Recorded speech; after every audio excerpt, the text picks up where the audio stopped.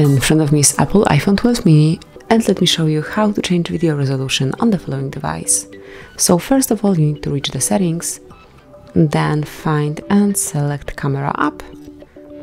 So here it should be. And here we've got games.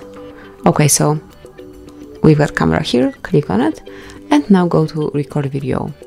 And now you can pick whichever resolution you would like to apply and then you can record in this chosen uh, quality.